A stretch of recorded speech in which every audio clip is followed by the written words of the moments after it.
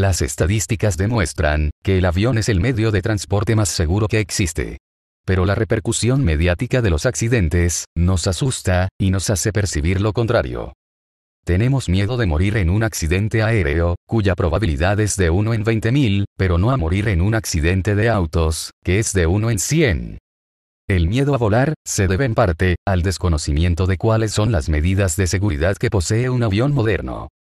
Por ejemplo, si uno de los motores de un avión falla, la mayoría de ellos, están preparados para seguir volando sin problemas con el otro. Los pilotos, pasan inspecciones y test psicológicos, cada seis meses. Antes de despegar, el comandante y el copiloto, comprueban que el avión no tenga ningún desperfecto, ni en la cabina ni en el exterior. Así, si al aterrizar se hubiera detectado incluso una bombilla fundida, el avión no podrá volar, hasta que el personal mecánico determine si puede hacerlo, o no.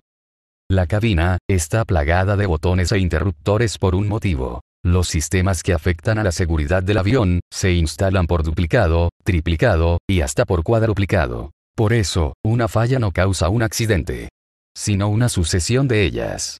Lo que es altamente improbable que ocurra. Si eventualmente se produjera el incendio de un motor, el sistema lo avisa a la tripulación, corta el suministro de combustible, y pone en marcha un extintor. Por protocolos de seguridad, siempre hay dos sistemas de detección, y dos extintores.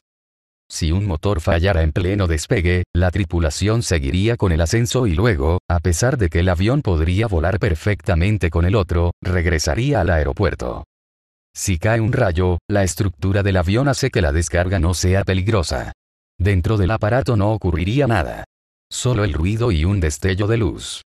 Y aunque el movimiento causado por las turbulencias, puede hacer creer al pasajero que el aparato puede romperse en pedazos, la resistencia de los materiales con los que se fabrican los aviones no lo permitirán nunca.